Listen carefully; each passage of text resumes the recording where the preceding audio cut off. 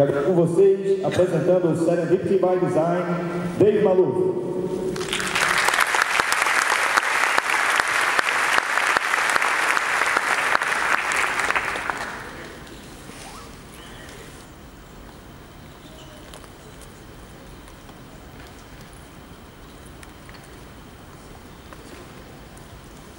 Bonjour. Um, as you said, my name is Dave Maluk, and uh, I'm a principal designer at Rackspace, and we're a company that does um, outsourced information technology, hardware, bandwidth. You want to put a computer up on the internet, we do that for you. We do the cloud. It's all good. But I'm not going to talk about that. Um, yeah,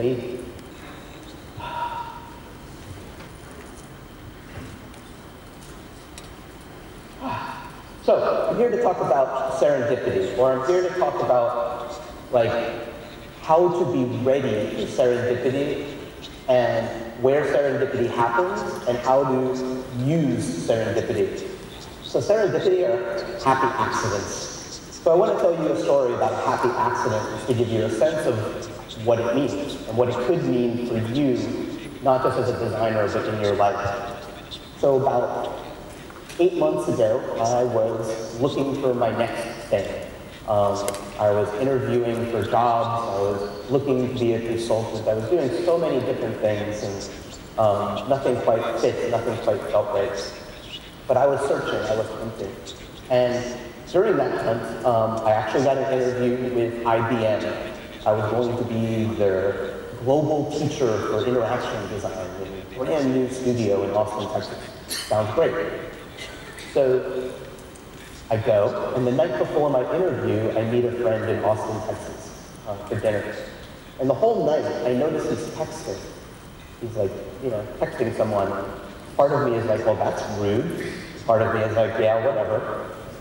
And then at coffee, dessert, all of a sudden his boss walks into the restaurant, sits down, and basically starts interviewing me. I had no awareness that this was going to happen, and no, wasn't ready at all, right? I was not like in interview mode. I was like having fun with friends. I actually had a few drinks already. But that interview turned into my next job. So I didn't get the job at IBM, I got the job at Rackspace. That's a happy accident. And being open to the possibility of happy accidents, being ready for those things, is what this is going to be about and how to apply that to design. So, um, but we're not just here to talk about serendipity, we're here to talk about serendipity by design.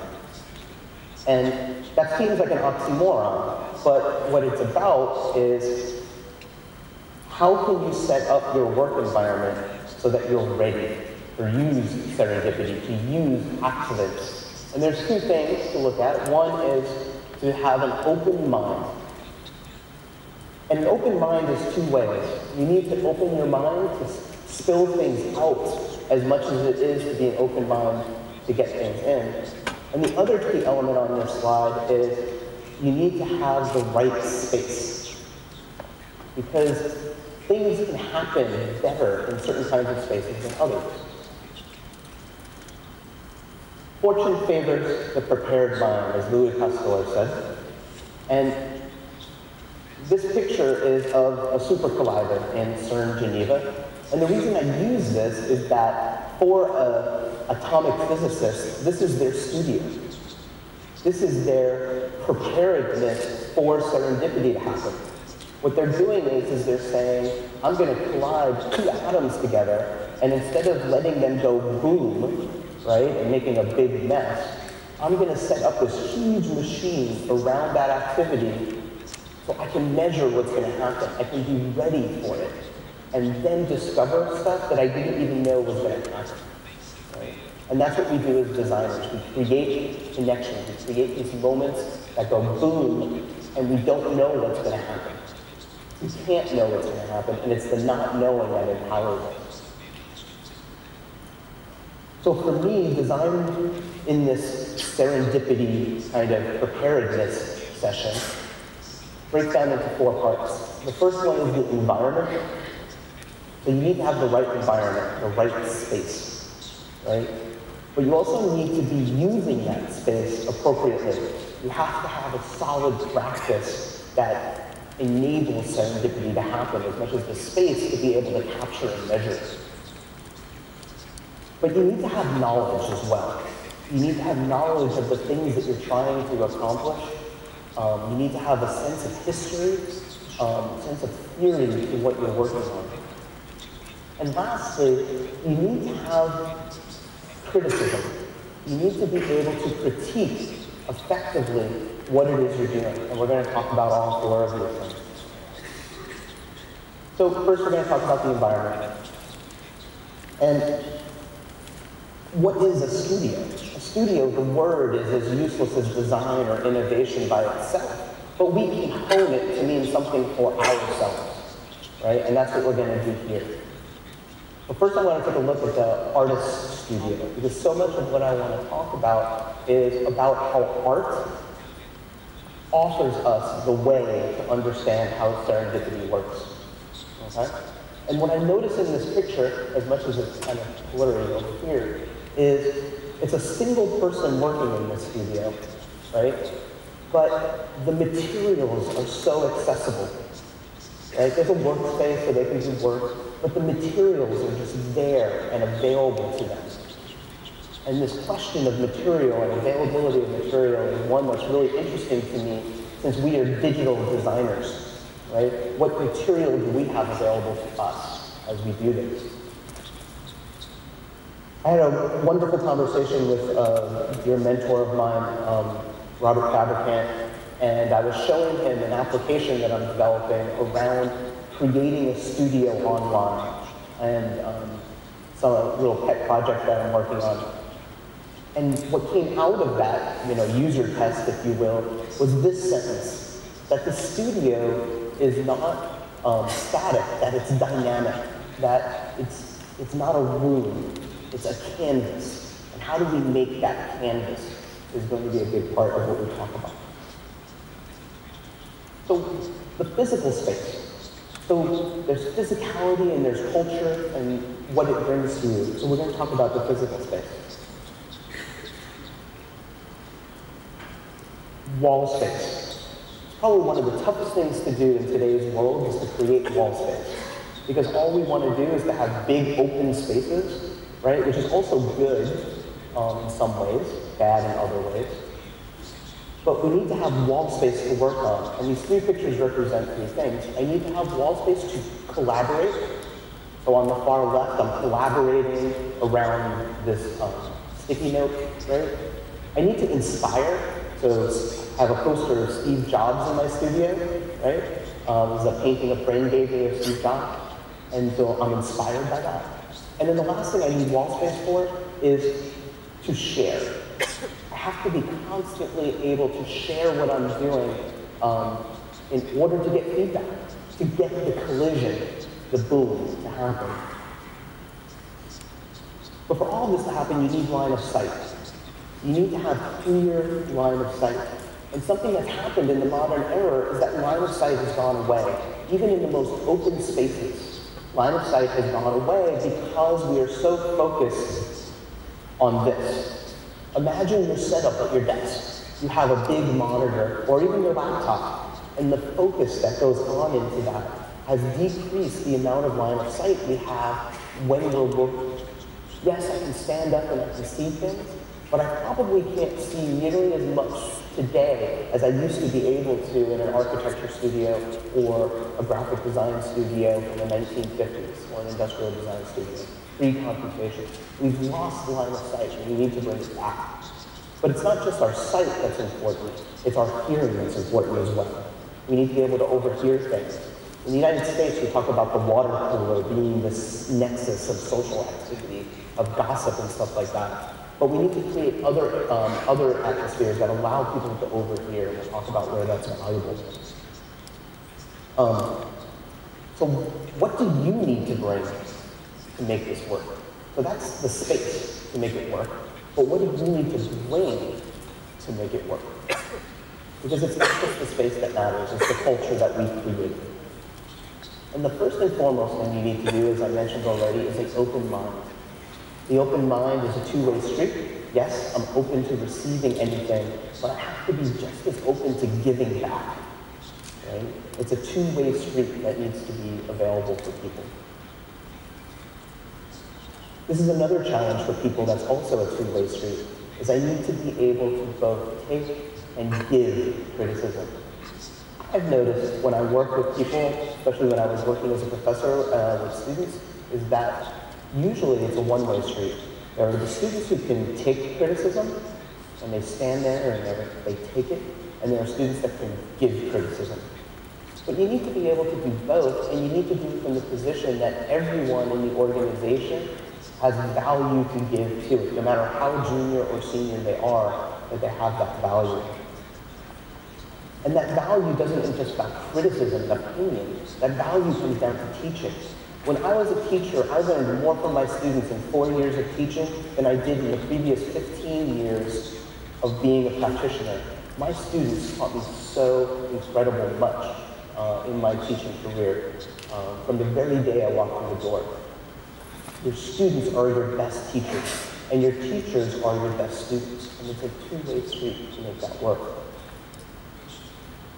The next thing is, and this is, this is a hard thing, I struggle with this one tremendously, is to be able to move between focus and distraction. They're both important. You need to be able to have focus when you do your work, but you also need to be able to be open to the distraction of people interrupting you to give criticism, to give teaching moments, right? Um, you need to be able to distract yourself so that you can go and reflect and relax. You need to be able to do both. Focus on the work and find moments of distraction. The last thing you need to bring is a spirit of exploration. You need to be able to want to go towards something that's unknown. You don't know where you're going. It's not even a hypothesis per se. You're just going in a direction. You're exploring possibilities as much as you're exploring the nature of a hypothesis, testing a hypothesis.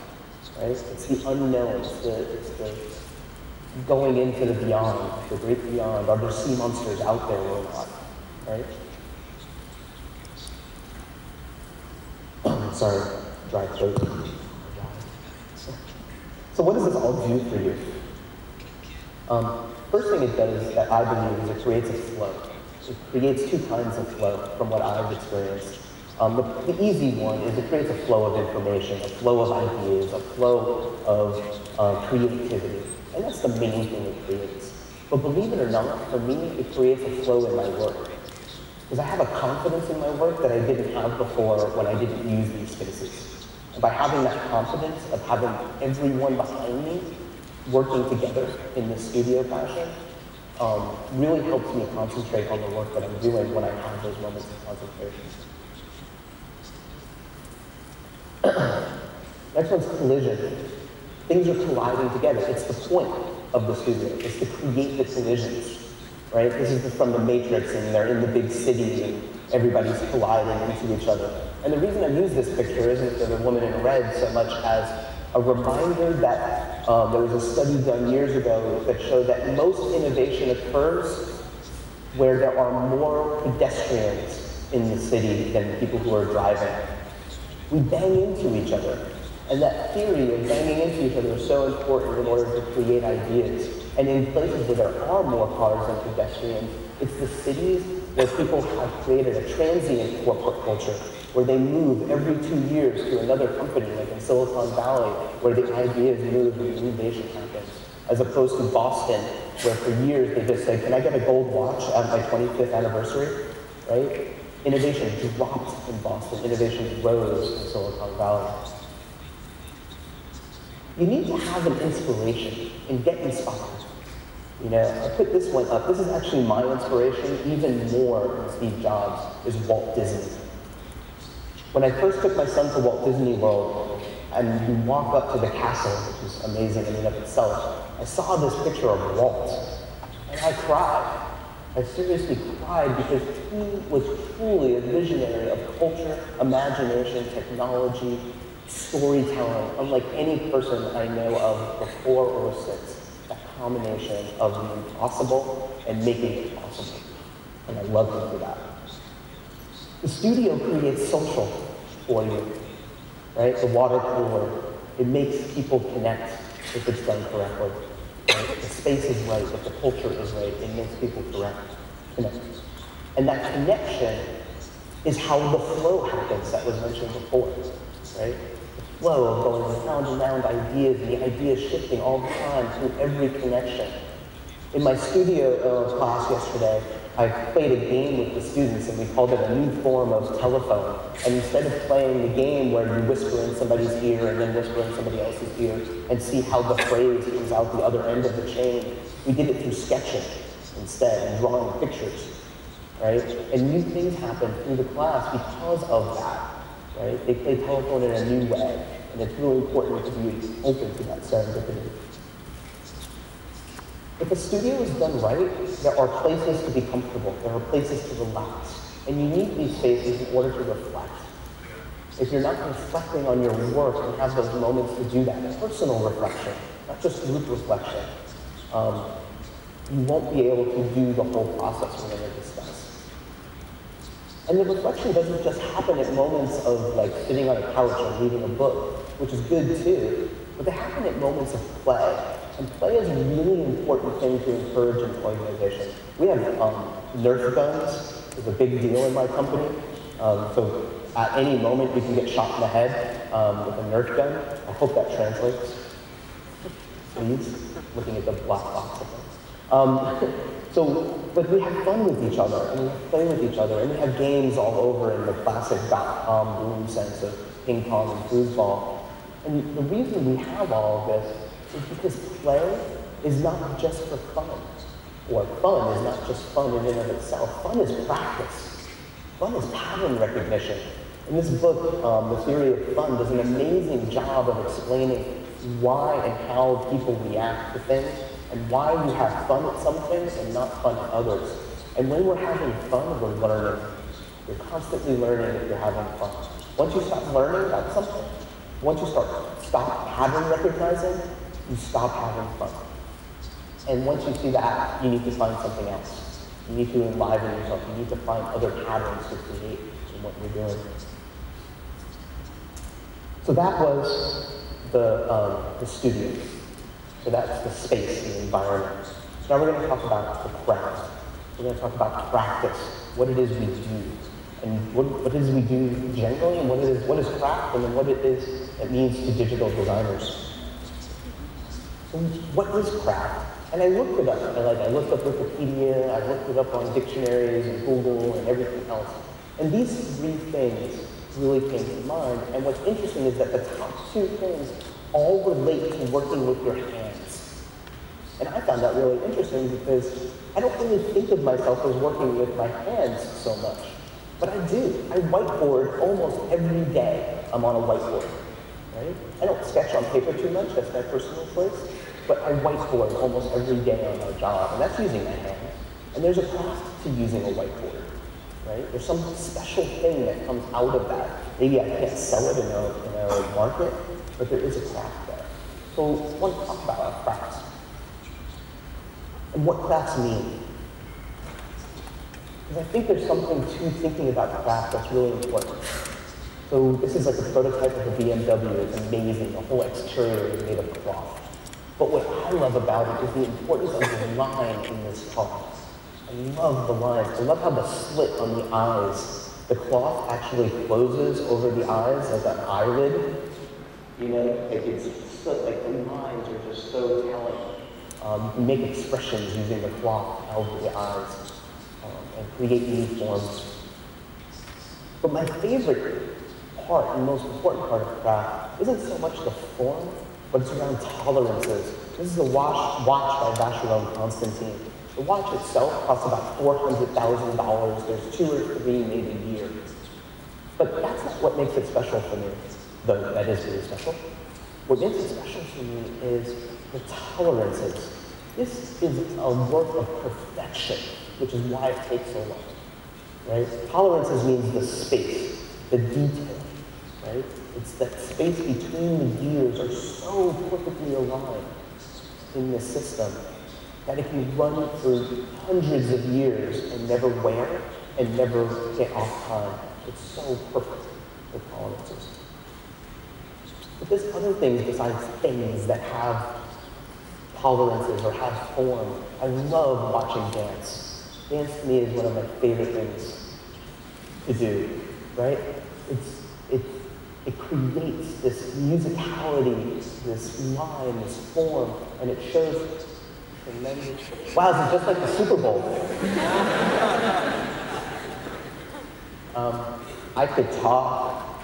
it's not a blackout because there's other ways. So, um, so there's line and there's form and there's motion, and the combination of them are so important. And the reason I love dance, people who may have seen another presentation I've done, is because as we become a more gestural interface society, right, we are dancing with our devices. I'm dancing with this device right now, right? I'm making a little bit of mistakes because my craft isn't good with it, right? But I'm using it, I'm dancing with it, I'm swiping, I'm having a sense of aesthetic response to that, right? The motion is really important. And more and more audio is becoming important. And the way that we can manipulate tone is really important in what we do. You know, I, we take it for granted a certain thing where like audio is kind of like left the web. And people try to bring it back sometimes, but it never works. Yet it works so well on fixed client devices for some reason. Like we take them for granted there, but on the web we just say we don't need it. I think we need to work on bringing it back because there's a special aesthetic there that we need to have. Information in there. And the last craft that I want to talk about is emotion and performance. You know, here I am, I'm trying to elicit my passion about this topic to you. Hopefully I'm succeeding, right? I'm doing a performance. And there's something to that. There's something to what we're doing. And so much about what our devices are doing is creating a moment of performance. When I use my phone, I'm performing with it. As a user-centered designer, I need to be able to think about how to craft other people's performance the way that a director in a movie or a play crafts this gentleman's mastery of performances, right? It's a collaboration that we have with our user who are the actors in the movies that we're creating, the improvisational movies. But what is our craft? I really struggle with this question sometimes. And the things that I go back to feel too tied to something, right? So for example, I go to creative and visual thinking. Creative thinking definitely is around, right? It's, it's broad, it's horizontal, it's everything. But visual thinking, we're not always visual, right? If I create a voice-activated system, there's nothing visual there that I'm creating as a final artifact. Or is there, right? Don't I have to create artifacts in the process of creating that system so that people who are responsible for creating it can do it. The voiceover person needs to read a script, right? The person who's saying, you know, yes, press one to do this, press two to do that. They need a script in order to put all of that information in. That's an artifact. I need to talk to engineers. They need artifacts to do that. And those can be presented through visual thinking, through visual artifacts. Right? Even the most non-visual part of what we design probably still needs visual thinking to help us. We represent things. More than we build things, we represent things as designers. And I know that we're pushing towards designers building, and I don't have any problem with that. But first and primary, if we can't represent what we do, then we can't build it, right? So this is not a pipe, it's a picture of a pipe, right? We represent what we do. I don't, an architect doesn't build the building. They create the representation in 3D models and blueprints. It's not the building that they do. A civil engineer and a set of construction crew make that happen. And that's fine for that medium and that economy, right? And that happens in many other parts of design as well. We model make. Model making is, a wonderful craft. And model making is like prototyping, but we also model make in the abstract. So in this picture, you have architecture students who are just doing form. They're learning their craft of form, of three-dimensionality. What looks good? What kinds of lines look good? right? What kinds of forms, what kind of curves in, in these models? These are all straight forms, and that's always what they're working on, is rectilinear forms and how to combine them together to make something better, right? So, going back to creative thinking, classical creative thinking, we think about, well, I brainstorm, I ideate, and then I evaluate, right? There's a moment when we say we stop, and now we evaluate. And I think of this as old school way of thinking about creating, about being creative, because it's too linear of a process, right? Even if I do something like this, um, engineering thinking does that as well. They go out and then they come in, but they do it on a straight line, right? That's the engineering way of thinking about how to move forward. And I think we're losing, I think we're getting stuck in that again as designers. Right? As more and more of our work gets tied to actually doing engineering, we're losing what is design thinking, which is the ability to go backwards. To measure, to go, not to measure, but to go back to the previous idea as a connection to the new idea to form something wholly new again. Right? And then this breaking of things, this non-linearity of things, to me, is the key to what we do as creative thinkers. And we need to find again our processes. And the best sample of this is within sketching. To me, sketching is the best example if it's done right. And it's not done right unless you have the right intentionality. The intention is what's important. And here you have this chart by Bill Buxton from his book Sketching User Experience, where you have invitation versus attendance, suggestion versus description, and on and on. But the key factor is when I sketch, I'm asking to collaborate. I'm asking you to think with me when I sketch about the solution. I'm not asking you if it's good or bad. I'm asking you to think with me, and that's really different. And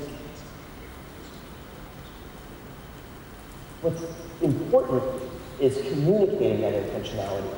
Because I can put up, and I have put up, Balsamiq style you know, um, wireframes that are done in sketchy strokes, right? And I've still had clients treat them like prototypes. So the reason is, is because I didn't communicate the intention correctly. And these properties up here of making it fast, disposable, rough, having multiplicity of, ideas presented at the same time, and finally using a common visual language, all together communicate that it's a sketch, right? If it's disposable, I know not to treat it as something that I'm going to keep forever. If it's rough, really rough done fast, and there's multiple ideas, I know that I'm not done, that I'm asking you to engage and creating a new intentionality. I love this quote, and I'm just going to read it because uh, it's translated. Normally I don't like to read slides like this. I actually did the work on the paper Feynman, who's a famous inventor, said, well, Weiner, the person interviewing, tries to ask for clarity and says, the work was done in your head, but the record of it is still here. So he's thinking of the paper as the record. And then Feynman comes back and says, no, it's not a record, not really. It's working. And this is the other powerful thing about sketching is you have to work on paper and this is the paper, right? The work is the paper, because the work is in dialogue with the person. Without the paper being a place to externalize the ideas in the head, right? You don't have the dialogue with yourself through the process. And you need to be able to do this quickly like a conversation, and that's what sketching offers, is that quick conversation. And what this all brings is associative thinking.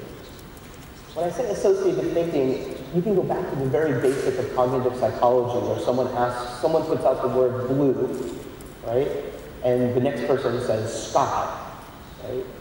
It's common, and that's associative thinking. You just put out the next thing. But what's really interesting is when you do associative thinking, is that if I said sky by itself, I may not have gotten blue. I may have gotten cloud. But if I say blue and then sky, the next associative thing may be different because blue, which was previous, affects the chain of association. So associations aren't just one-offs. That's why the linearity doesn't work. Associations are contextual. Right? And they work alone, but they work really, excellently with others. By putting your sketches up there, or even by sketching next to somebody. We talk about paired coding, right, in today's coding environment. I loved seeing my students when, when I was teaching, they were doing paired sketching. They would put a big white sheet of paper in front of them, and they would just sketch together. And sometimes they would impact each other directly, like putting a line on the other person's sketch. But just having it in their line of sight so directly impacted the work that they were doing. And you can see that as they iterated forward. So I want to go to visual language for a second. Because a lot of people are scared of sketching. They think they can't draw. And I agree with you. You probably might not be able to draw. But it doesn't mean you can't communicate visually. Because if you can do these six shapes, in some way, you can draw. Right? So this is um, from Ed Emberley. He makes these books for children to learn to draw. It helped me, let alone my son, learn to draw. It was like one of my favorite discoveries was these books when my son finally got interested in drawing. And we actually did this in my class and everyone had a good time. Um, but drawing a dragon, a dragon is that easy, right? Just putting those combination of shapes together to communicate dragon. No, it's not a fancy dragon. It's not three-dimensional. It's not in perspective. I don't need that to communicate the idea of there's a dragon here. And that's what visual communication is all about. It's getting the idea across. It's a sketch. It's disposable. It's not a refined idea. But visual communication doesn't have to be drawings of people or life objects, right? This is so easy to draw. These are the drawings on a specification for doing um, gestures, for designing gestures. So on the bottom, um, the bottom left, one, well, yeah, your left, um, over here, what you get is the down triangle is saying that's where you click down, and the up triangle is saying that's where you click up, and the circle implies movement, implies the click itself, and the arrow implies the direction of the mouse is going in, or the swipe is going in, right? Really simplistic visual um, thinking going on there, visual communication. This next one is a little bit more complicated. This comes from um, contextual design, the Holtzblatt Beyer methodology for, for modeling a cultural environment after doing research. And is just modeling the flow. And just to talk about the visual here, is there's four types of visual symbols that you need to know. The ellipse represent people in the system. The, um, the boxes represent things, so that's nice. That's a good dichotomy, really easily visually represented. The lines represent the flow of something, usually information or an object or something like that. And then the red lightning bolt says there's a problem here, there's a breakdown in the system. So I only need to understand four things, and then I can read, basically, this visual diagram and understand the whole culture, right, from, a, from an interview session. So, that was craft and what we do. Now we're going to move into knowledge. so I want to start with our history. And what I did was here is I put on the left side art. And I put a moment in art in particular, um, which is Lautrec. And he was an amazing artist who became a graphic artist because his art became the cover of magazines, right? And posters and things like that. Amazing stuff. He was the first crossover, in my mind, in graphic arts.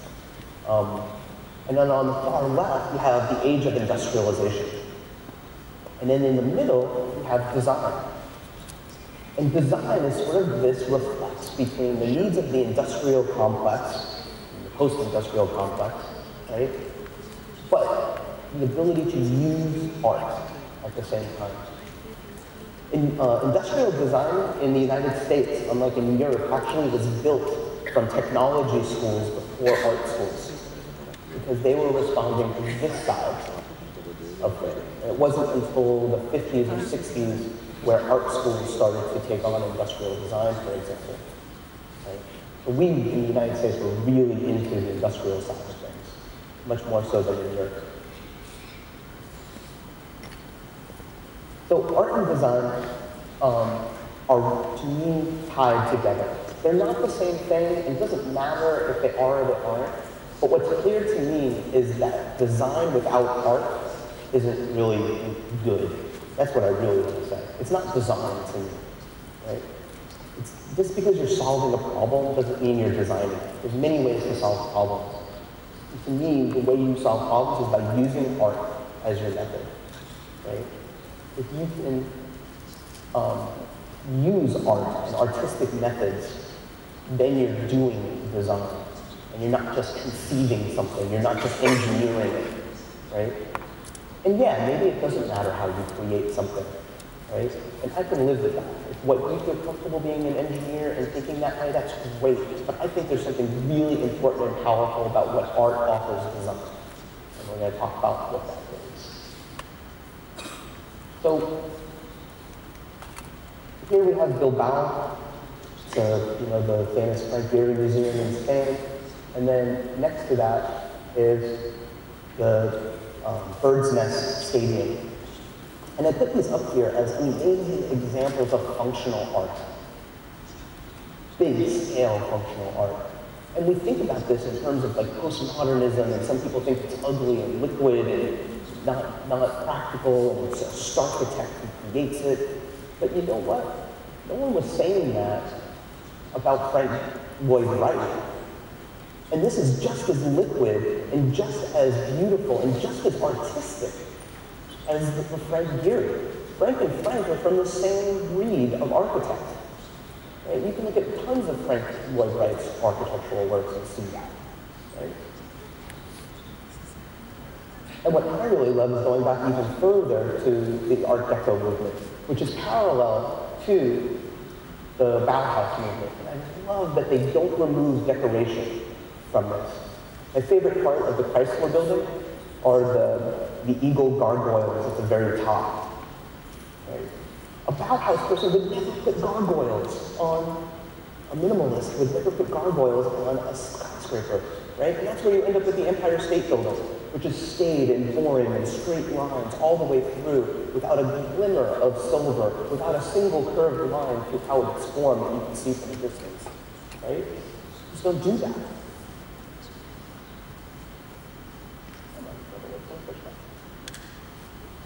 So modern design isn't all about minimalism, and that's what I want to talk about. Because I think there's been this huge push to minimalism, and I don't want that to be the only conversation we're having. And when you compare the Bauhaus, which is minimalist, and the best example is the Tel Aviv apartment in the top right, and you compare that to the Art Deco on the bottom, you can see that contemporary buildings, both modernists, can be different and still have value in terms of the, the beauty and the function of the designs that they offer. And if this doesn't translate to architecture, right, it translates to the things themselves. One of my favorite architect, archetypal designs is the KitchenAid um, mixer. I love that design. It is probably one of the longest lasting designs in all of industrial design. It hasn't changed significantly at all, probably like 80 years since it first came out. 80 years that design has lasted, and it is not minimalist. There is curve, there is decoration, there is a balance in that, right? And it has lasted so long. So moving from history, I want to talk about theory.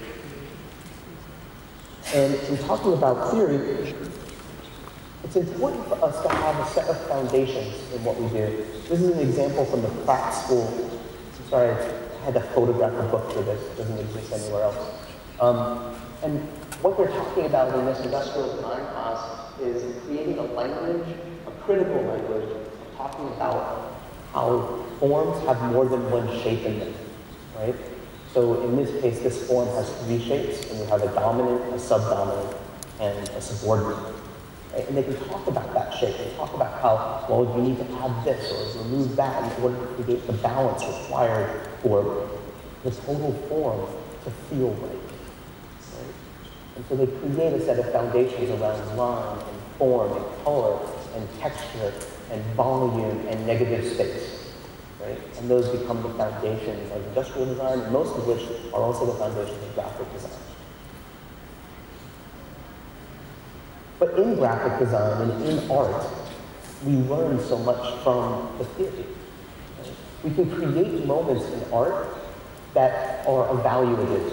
I can do comparisons. And that has value in communicating something. And maybe communication isn't what I'm communicating to you, but what you can communicate back to me directly or indirectly. Right?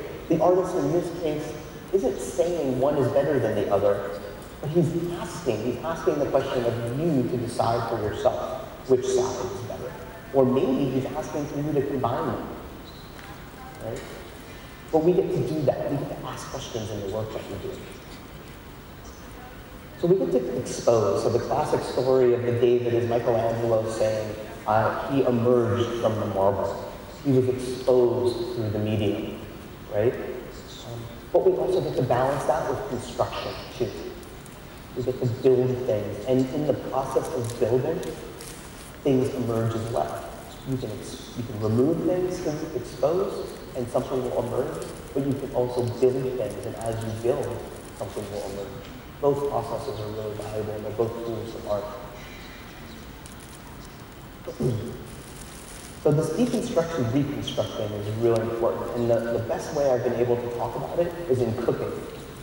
So fancy chefs love to deconstruct a meal. And it didn't occur to me why. I'm not a, I'm not a foodie. I'm not a person who's like into big, you know, fancy cuisine. But it occurred to me that the reason they do that is to offer the, um, the person eating the food a chance to create their own experience. Because if I deconstruct it, let's say I deconstruct a chicken cordon bleu. I got chicken, ham, cheese, and sauce, right? Just easily break it down.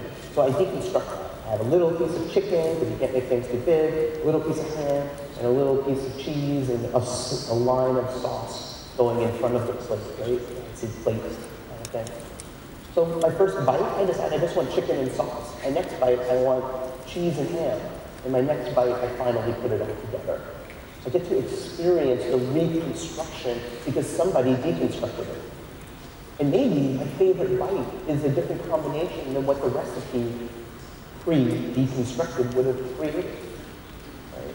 But as designers, we get to go through that process ourselves. We get to deconstruct things, see all the pieces laid out, and then figure out new ways to connect them, figure out new associations to make in the parts themselves. Right? I think that's one thing that the iPhone really represents is you know, it was really clear that all the parts existed previously before an iPhone was made. Every single part in this phone in 19, 2007 existed then that was necessary to make it. But it was the way that they deconstructed the technology and then built something new out of it, something completely innovative to constructing it in new ways. And tinkering is an important way to do this. So in the United States, we have a huge tinkering movement. We call it maker movement. And we have maker fairs now all over the country. And they're huge. Thousands and thousands of people come because they can make robots or they can make airplanes or whatever they're interested in making. Um, but the example here that I'm using is goes back to Degas. And Degas had this amazing practice of tinkering in bronze statues before he would start painting his ballerinas. He would first do them in a bronze statue. This is no simple sketch, right? This is not sketching. This is not rough. This is not disposable, right? This is tinkering. This is making something in order to figure out how I'm going to make something else. Completely unrelated to the final form, which was this, which is refinement. Right? I go through a process of refining what it is I'm going to work on. And when I refine it, I need to make sure that it's composed. This is the classic photography grid over this picture, making sure there's a, a two-thirds, right? At least making sure the face pointed in the middle as opposed to pointed out. And composing the picture to make sure that the aesthetic, make sure the communication is correct. And we have to do that through layout and type and um, color and white space in what we do as visual designers on screens. We need to make sure there's a balance in what we do. One of my least favorite things about the classic top left bar design that defined the web for so many years is it's so unbalanced. It's so weighted in one direction. There's no balance to it, and it's really difficult to balance it. And people try by making a very weighty left-right bar and putting categories or actions over there, and it kind of just fell, kind of fall apart, right? And I think there's some good things coming up in responsive design that help some of that.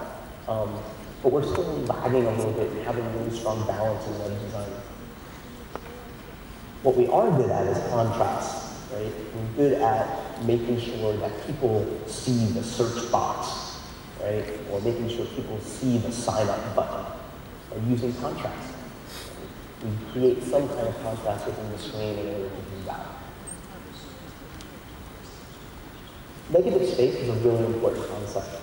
Are this, is this a vase or is this two faces? It's a classic you know, example of negative space use. But my favorite example is the FedEx logo, right? Federal, Federal Express, and there's the E and the X making an arrow. But there's better ways to use it than that. By using negative space instead of using lines to create separation, we're removing distraction that's just unnecessary. It's not even aesthetically pleasing, right? The lines that we put when we want to separate one section from another section. When white space is all you probably really need, and then you can create hierarchy by using scale. Right? I love this example of scale because for anyone who's been to Florence and has seen the real thing, he's huge, huge. He's like three of me tall, right? But the other part about scale that's really interesting in this is the hand. The hand is that of a gorilla, not of a human being. And this is from a master of anatomy. He has, like, Michelangelo probably dug up more corpses than any vampire ever, right? Any zombie, in order to really understand the human body. And the rest of it is absolutely stunningly perfect, except for this hand. It's just laying there like a gorilla hand. What is that? He's asking a question. It doesn't answer. Right? It's too perfect for that. And the next question that goes through my mind is materiality. And material, is it code? So I put that up there to see if it is code. Is it people? Right? Is our medium behavior? Is what we do just code? Is it pixels? A lot of people don't talk about the pixels that we do. Is it just the output of the code that's our medium? Right? So is it voice, is it sound, is it pixels, is it visual? Um, is it the sensors and actuators that you put together in a physical device? Probably all of that and a mix of that. And but because it's all intangible and so complex to get our head around, we actually lose working with material as a craft.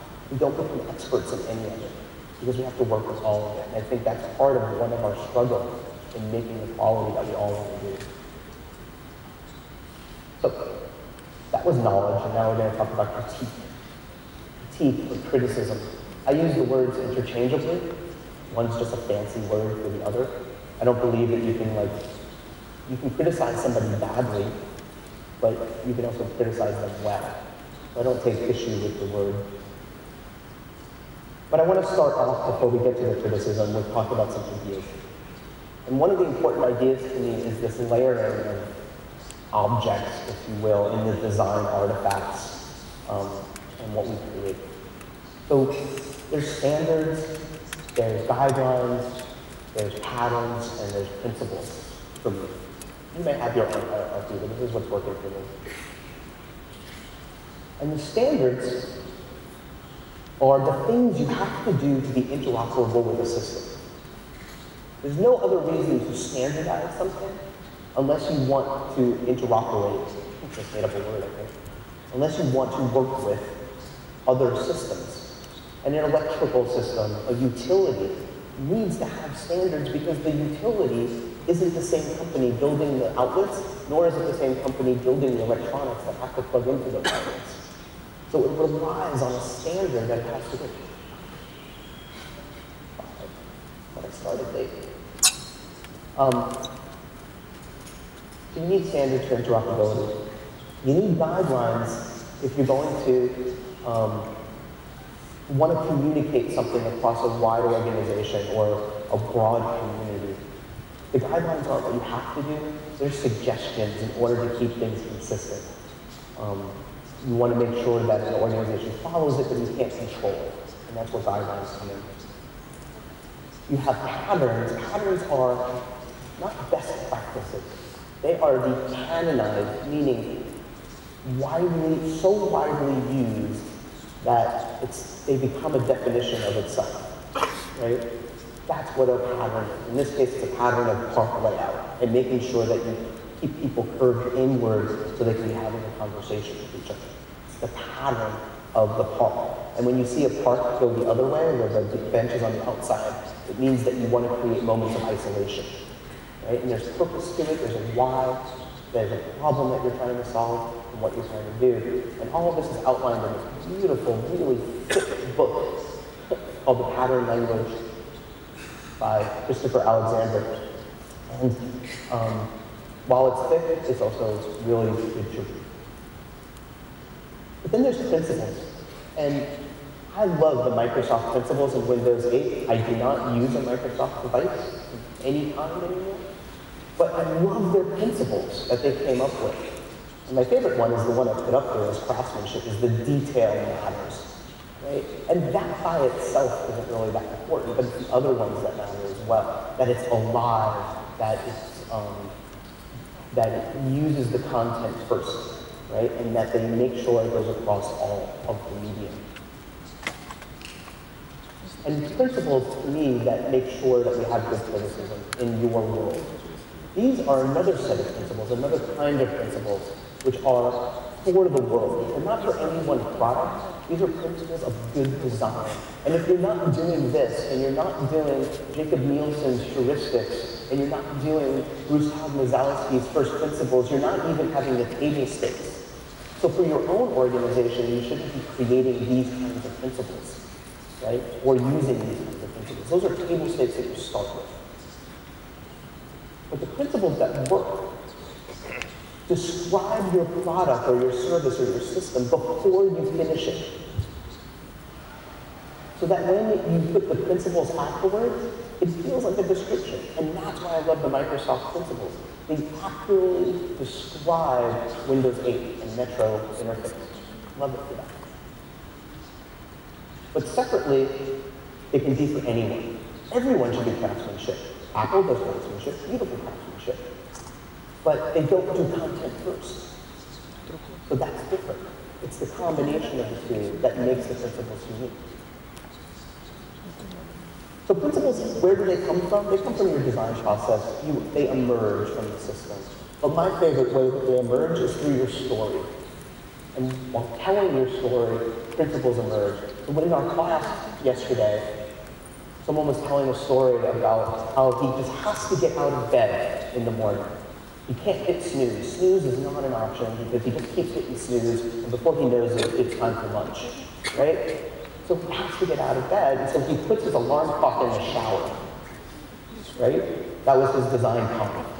Right? Another person who had the same problem had a spring-loaded bed that just dumped her out of bed, right? But their combined principle was mission critical and no excuses, right? It just has to happen. There's no way out, no escape clause. And that emerged from the stories that they told. But stories evolve through your process, and so will your principles. And the way that you create a story is you start out by telling it, but then you move to acting it out so that you and others in your studio environment can experience it. And through the experience of it, you figure out what's a principle worth keeping, what's a part of the story worth keeping, and also what's missing. So we're going to talk quickly about how to use principles in criticism. The most important part of a criticism session is not the criticism. It's the delivery of the person whose design is being presented. When you deliver it, you have to deliver it to the principles that the group has agreed to or that you're saying you want them to agree to. You have to have goals. And if you don't have those goals communicated, then there's no basis of criticism, except for table stakes, which everyone should know anyway, and yes, you do that. You have to make sure you meet your table stakes. You have to make sure you meet your requirements. And the way to do that is the people who are giving the critique have to make that person pay up on the promises that they suggested when they delivered the ideas. You have to hold that to them. And you hold that to them by asking them, does this meet your goals? I'm not seeing it meet your goals. Do you think it meets your goals? And if so, how does it meet your goals? And you're not asking them for a solution. What you're asking them for is to think with you. And maybe they have to go back and think about it and then come back to you later. But the criticism doesn't tell, the criticism asks. It's really important. But you also get to suggest. You get to say, this isn't working for me, would this be better? Because it's a collaboration going on, and you want to work together. So, on that point, I believe that what's inherently important is creating a culture, which is a space, a knowledge set, practice, and an experience of criticism that all come together to form a studio environment that best take advantage of the happy accidents that happen through a really solid design process. And I hope you go back and really see the places where you're missing in your culture and places where you're succeeding and amplify the places where you succeed and try to shore up the places where you're not doing the things that help you most. Thank you.